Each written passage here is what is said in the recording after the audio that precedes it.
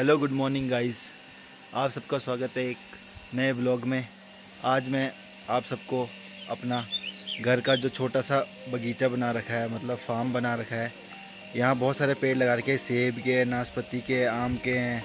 तो आपको मैं दिखाता हूँ कौन कौन से पेड़ लगा रखे हैं हमने। ये देखे, ये रहा हमारा बगीचा। ये इतना है। आजकल गेहूँ निकल रहे हैं, आजकल गेहूँ सुखाने के लिए भी डाल रखे हैं।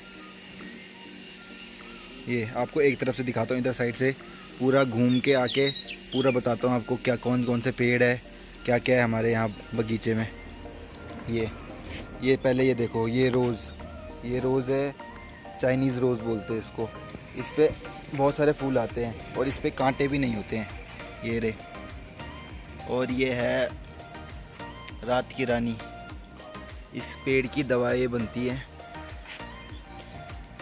और ये प्याज लगा रखे हैं। बीज के लिए लगा रखे हैं। ये प्याज सारे। और ये पेड़ है बब्बू गोसा का। ये देखो, ये फ़र्स्ट टाइम अभी सैंपल ही आया हमारे पास। अभी पहली बारी लगाई है। और ये है पपीता। पपीते का पेड़। आधे से ज़्यादा, बहुत सारे तो मैंने बेच भी दिए हैं। अब ये थोड़े ही रह रखे हैं। लगभग 20-25 पेड़ होंगे पपीते के। ये देखो।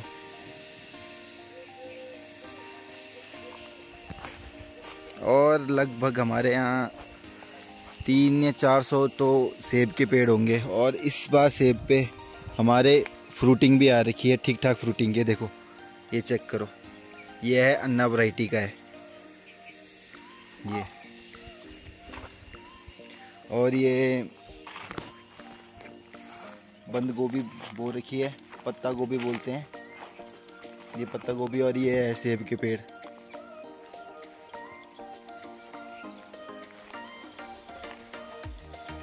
और ये है एम नाइन रूट स्टॉक के हैं ये। ये छोटी जाति के हैं और इससे ज़्यादा नहीं बढ़ते हैं। और इनके साथ हमने लगा रखे हैं, लहसुन वगैरह लगा रखी है यहाँ यहाँ। ये रही लहसुन वगैरह। और साथ में स्ट्रॉबेरी भी लगा रखी है। ये चेक करो। ये देखो कितनी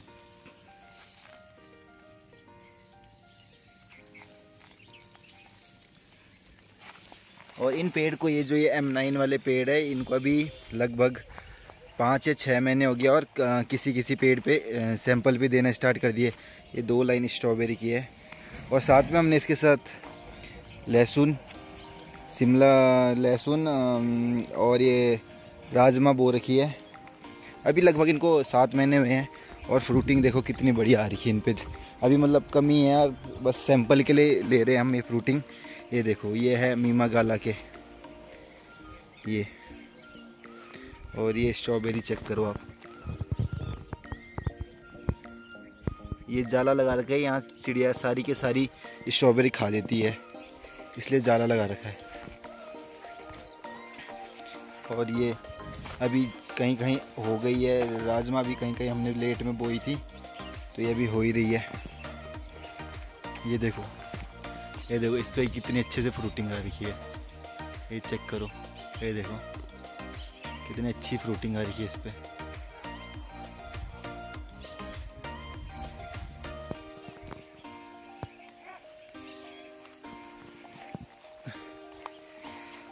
और हमने बहुत कुछ बोया था गोभी बो रखी थी, गोभी ख़त्म हो गई है।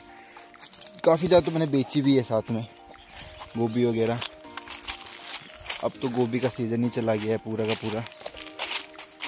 यहाँ हमारे पास है सात, लगभग सात तो वैरायटी सेब की वैरायटी है और तीन चार आम की वैरायटी है।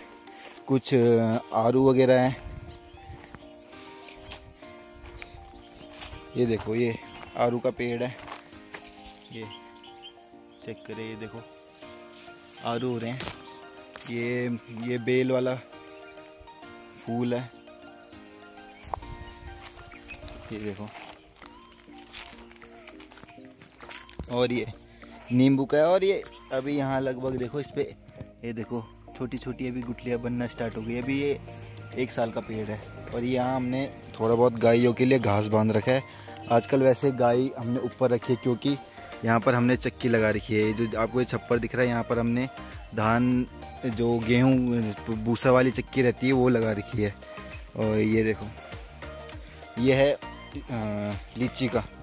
इस पर अभी थोड़ी सी फ्लावरिंग आ रखी है, ये देखो। ज़्यादा नहीं है इस पर फ्लावरिंग अभी। और ये साथ में हमारे छप्पन कद्दू। ये देखो, छप्पन कद्दू भी तैयार हो गए हैं। चेक करें। ये देखो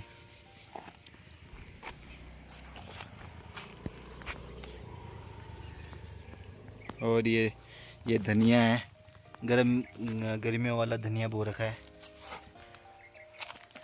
ये है थाईलैंड वैरायटी का सेब है। जब इसकी जो फ्रूटिंग होती है, इसके जो अमरूद रहता है ना तो उसके अंदर दाने नहीं रहते। पूरा गूदा का गूदा रहता है। ये दाने वाला नहीं है। और ये आम की है। एक ये भी है।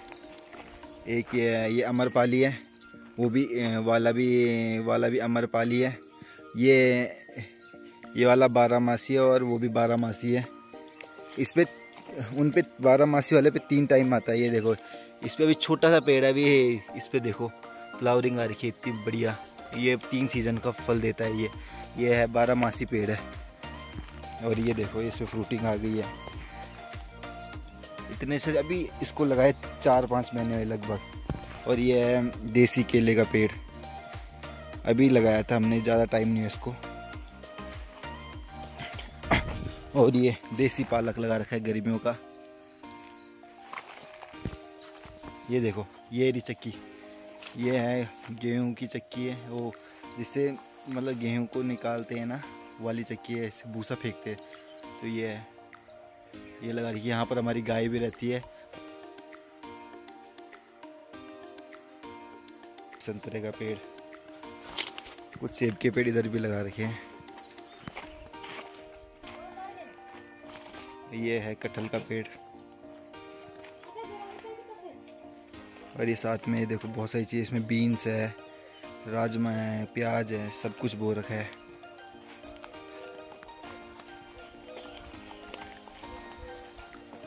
ये हमारा मतलब लगभग पूरा इंटीग्रेटिव फ़ार्मिंग है। और ये देखो और ये टैंक बना रखा है हमने। ये पानी हमारे यहाँ स्रोत का है, ये ज़मीन से निकल के आता है और ये पाइप से फिट कर रखा है टंकियों में और टंकियों से जैसे ओवरफ्लो होता है तो डायरेक्ट यहाँ आता है पानी। तो ये टंकी भरती है। इसमें लगभग सौ, डेढ़ सौ मच्छी मच्छी रखी है। कॉमन क्राफ्ट है लगभग। और ये मुर्गे मुर्गे के लिए बना रखे पोइट्री फार्म अलग से इसी के ऊपर है। और इसमें रखे मैंने लगभग बीस मुर्गे रखे हैं। मुर्गी मुर्गे रखे। इसमें से आठ आठ तो मुर्गे हैं और बारह मुर्गियाँ हैं। और बारह मुर्गियों से अभी लगभग आठ मुर्गी अंडे दे रही है। मेरे पास से सौ, डेढ़ सौ मुर्गियाँ थी। कुछ तो मैंने बेच दी। अब बस यही है, जो भी है। ये देखो, सबसे बड़ा मुर्गा है ये।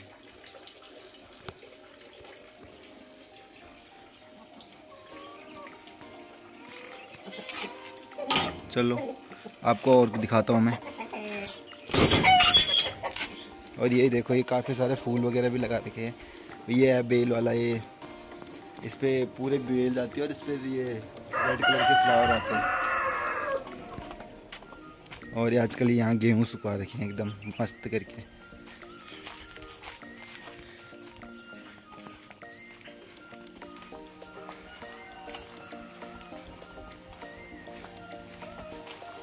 और ये कुछ पेड़ सात आठ पेड़ हमने बेचने के लिए रखे हैं।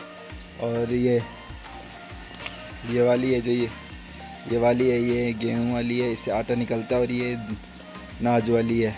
दोनों चक्कियाँ भी रखी है पर्सनल यूज़ के लिए। तो आज का ब्लॉग यहीं पे समाप्त करते हैं।